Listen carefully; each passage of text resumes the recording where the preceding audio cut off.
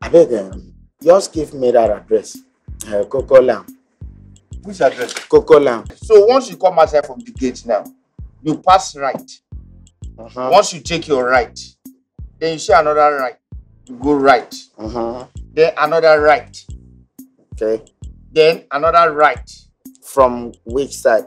Then that's just as you are going, you are saying right, Right. right, right. Right. Then then the fourth right. Uh, Then after the fourth right, the fifth right. You see one left, don't enter that left too. You see another sixth right. Then you see a roundabout. Then you take the left and right and left and right. TFY. What's the meaning? Thunder fire you. Ubong, how can I help you? Please, uh, I have an interview.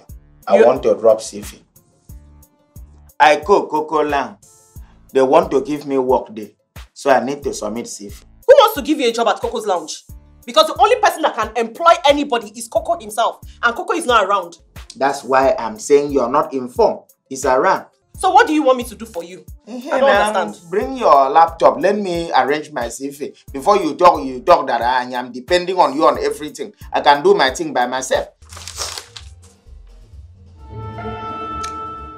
Ubong, what is the meaning of this? What- what- I mean, what is this? CV. CV. Eh? You call this a CV? What is it? Is it a marriage list? It's CV. Uh, you are not even qualified. I mean, who will accept this?